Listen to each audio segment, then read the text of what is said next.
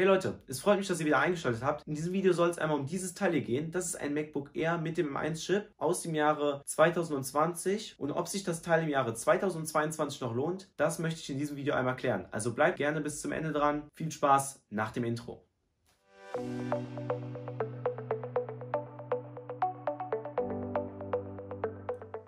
Wie bereits erwähnt, ist das MacBook Air mit dem M1-Chip erstmalig Ende 2020 rausgekommen, zusammen mit dem MacBook Pro 13 Zoll M1 und dem Mac Mini. Doch wie sieht es jetzt fast eineinhalb Jahre später aus? Also, vorab erstmal, ich kann jedem das MacBook Air wirklich empfehlen, der bereit ist für die Welt von Apple und macOS. Wenn ihr jetzt absoluter Verfechter von macOS und dem Apple-Ökosystem, dann kann ich euch das natürlich nicht empfehlen, auch wenn es eine super Preis-Leistung bietet, aber dann werdet ihr damit einfach nicht gut zurechtkommen. Für alle anderen, die jetzt für ihre Arbeit, für die Schule oder für die Uni ein MacBook suchen bzw. einen guten Laptop, den kann ich den Laptop wirklich nur empfehlen. Was bekommt ihr denn überhaupt bei dem MacBook? Also, ihr bekommt ein super Retina-Display. Das ist schärfer als bei den meisten Windows-Laptops. Ihr bekommt hier eine höhere Auflösung als WQAD. Tolle Farben dank dem P3 Farbraum. Und ihr habt eine tolle Verarbeitung. Wie ihr sehen könnt, ist das MacBook Air von mir aus Aluminium, wie auch alle anderen MacBooks. Ich habe das hier in der Farbe Silber. Und ja, zusammen benutze ich noch hier eine Hülle. Dazu habe ich auch mal ein Video gemacht zu meinen täglichen Mac-Begleitern. Könnt ihr auch gerne mal vorbeischauen, was ich da so benutze. Hier seht ihr es schon. Hungrig nach Arbeit, nicht nach Batterie. Denn wie lange bekommt ihr Akkulaufzeit? Ihr bekommt hier satte 18 Stunden Batterielaufzeit. Das ist 6 Stunden länger als beim Vorgänger und dazu bekommt ihr eine immense Power. Ihr bekommt hier eine 8-Core CPU in der Basisvariante und eine 7-Core GPU. Das heißt einfach, dass ihr genug Power wirklich bekommt, auch wenn ihr das Basismodell habt. Ich schneide hier drauf meine Videos und das ist schon sehr aufwendig und das kriegt das MacBook ohne Probleme hin. Was bekommt ihr noch geboten? Ihr bekommt das beste Trackpad auf dem Markt von Apple, denn im Vergleich zu Windows-Laptops sind die Trackpads bei MacBooks Meilen besser, beziehungsweise Jahre sind die voraus. Ihr bekommt eine gute Tastatur, nicht mehr eine Butterfly-Tastatur wie bei den Vorgängern, die schnell kaputt gegangen ist, sondern die Tastatur ist wieder nach dem alten Mechanismus und soll wirklich lange halten, wenn ihr jetzt hier am Schreiben seid. Das MacBook Air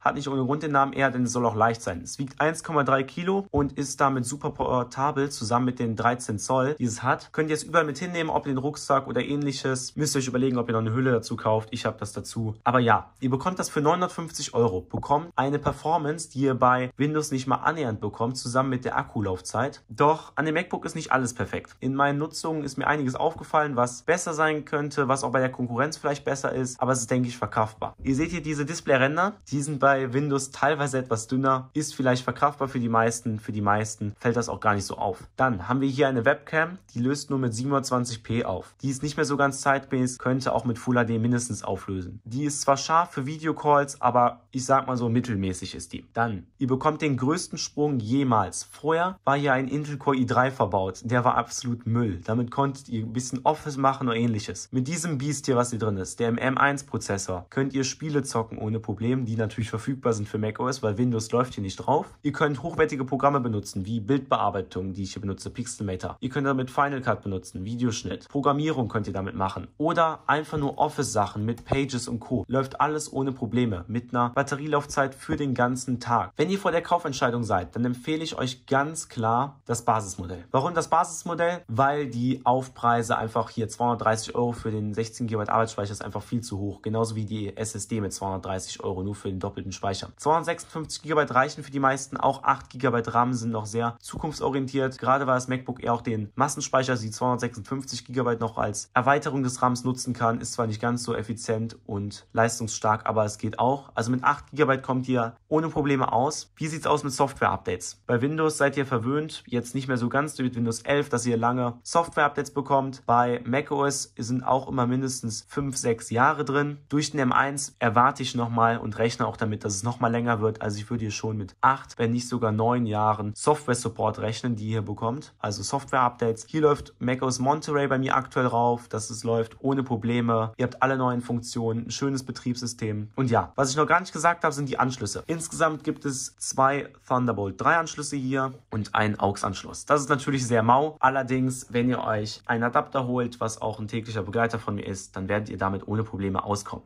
Dann gibt es nur noch eine Sache zu klären. Es soll bald ein Nachfolger rauskommen mit dem M2-Chip, neues Design. Das Design ist jetzt hier von 2015 und das erste MacBook in dem Design ist 2018 rausgekommen. Also ist auch schon etwas in die Jahre gekommen. Vier Jahre alt das Design bei MacBook Air. Wenn ein neues MacBook Air rauskommt, höchstwahrscheinlich neues Design raus. Doch das kommt wahrscheinlich erst Ende des Jahres, wenn nicht sogar erst nächstes Jahr. Also, und zusätzlich werdet ihr dabei nur den kleinsten Sprung bekommen, also einen relativ kleinen Sprung. Ihr werdet hiermit alles machen können, wie auch mit dem neuen MacBook Air. Das war jetzt ein einmalig großer Sprung zwischen den Intel MacBook Airs zu den MacBook Air, dem M1-Chip. Da war ein Riesensprung und jetzt kommen eher nur noch kleinere Sprünge. Deswegen, wenn ihr jetzt eins braucht, schlagt zu und ihr mit macOS zurechtkommt. Ansonsten, wenn ihr damit nicht zurechtkommt, empfehle ich euch natürlich einen Windows-Laptop.